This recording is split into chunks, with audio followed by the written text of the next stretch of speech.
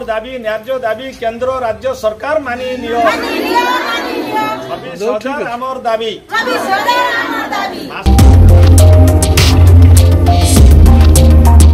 ସାତ ଦଫା ଦାବି ନେଇ ଗର୍ଜିଲା ପାଚିକା ସହାୟିକା ସଂଘ।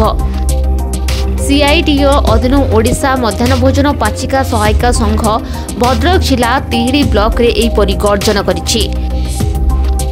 ପାଚିକା ସହାୟିକାମାନଙ୍କୁ ମାସିକ ସର୍ବନିମ୍ନ ଛବିଶ ହଜାର ଟଙ୍କା ମଜୁରୀ ବର୍ଷକୁ ବାର ମାସ ଦରମା ଅବସର ବୟସ ବାଷଠିକୁ ବୃଦ୍ଧି କରିବା ବର୍ଷକୁ ଦୁଇ ଖଣ୍ଡ ଶାଢ଼ୀ ନଚେତ୍ ଏକ ହଜାର ଟଙ୍କା ସମସ୍ତଙ୍କୁ ପ୍ରଧାନମନ୍ତ୍ରୀ ଆବାସ ଯୋଜନାରେ ପକ୍କା ଘର ପ୍ରଦାନ କରିବା ଛଟେଇ କରାଯାଇଥିବା ପାଚିକାମାନଙ୍କୁ ପୁନଃ ନିଯୁକ୍ତି ପ୍ରଦାନ କରିବା ସମସ୍ତଙ୍କୁ ସରକାରୀ କର୍ମଚାରୀ ରୂପେ ଘୋଷଣା କରିବା ସରକାରୀ ମାନ୍ୟତା କରିବା ପ୍ରୋଭିଡେଣ୍ଟ ଫଣ୍ଡ ପେନ୍ସନର ବ୍ୟବସ୍ଥା ବୀମାଭୁକ୍ତ କରିବା ଏବଂ ଅସଂଗଠିତ ଶ୍ରମିକ ରୂପରେ ମାନ୍ୟତା ପ୍ରଦାନ କରିବା ଏବଂ ଶ୍ରମିକ ବିରୋଧ ଶ୍ରମ କୋଡ୍କୁ ପ୍ରତ୍ୟାହାର କରିବା ଆଦି ଦାବି କରାଯାଇଛି।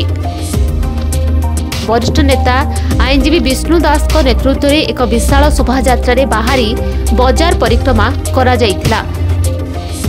ଉଭୟ ରାଜ୍ୟ ଓ କେନ୍ଦ୍ର ସରକାରଙ୍କ ବିରୋଧରେ ନାରା ଦେଇ ସଚେତନ କରିବା ସହିତ ତୁରନ୍ତ ଦାବି ପୂରଣ କରା ନଗଲେ ଆଗାମୀ ନିର୍ବାଚନରେ ଭୋଟ ବର୍ଜନ କରାଯିବ ବୋଲି ଚେତାବନୀ ଦିଆଯାଇଛି।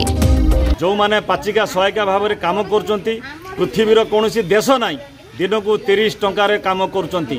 ଆମେ ଦାବି କରୁଛୁ ଦଶ ମାସର ଦରମା ପରିବର୍ତ୍ତେ ବାର ମାସର ଦରମା ଦିଆଯାଉ ମାସକୁ ଛବିଶ ହଜାର ଟଙ୍କା ଦିଆଯାଉ ସ୍ଥାୟୀ ନିଯୁକ୍ତି ଦିଆଯାଉ ସ୍ଥାୟୀ ନିଯୁକ୍ତି ଦିଅ ସରକାରୀ କର୍ମଚାରୀର ମାନ୍ୟତା ଦିଅ। एवं मासको छब्बिस हजार टा दरमार ग्यारेन्टी गर ए दावि आज लडै गर मैदान गत छब्बिस तारिख ठुलो राजधानी मैदानले भुवेश्वर ठाचिका राजरास्तै सुईच्ने दावी हासल सरकार आज निद्रो सु चितकार चारिआ सारा राज्य तमाम तुरन्त मजुरी घोषणा तहसलदार ଶିକ୍ଷାଧିକାରୀଙ୍କ ଜରିଆରେ ମୁଖ୍ୟମନ୍ତ୍ରୀଙ୍କ ଉଦ୍ଦେଶ୍ୟରେ ସାତ ଦଫା ଦାବିପତ୍ର ପ୍ରଦାନ କରାଯାଇଥିଲା। ତିହିଡ଼ିରୁ ସଞ୍ଜୟ ଦାସଙ୍କ ରିପୋର୍ଟ ମେଟ୍ରୋ ଟିଭି ଓଡ଼ିଶା।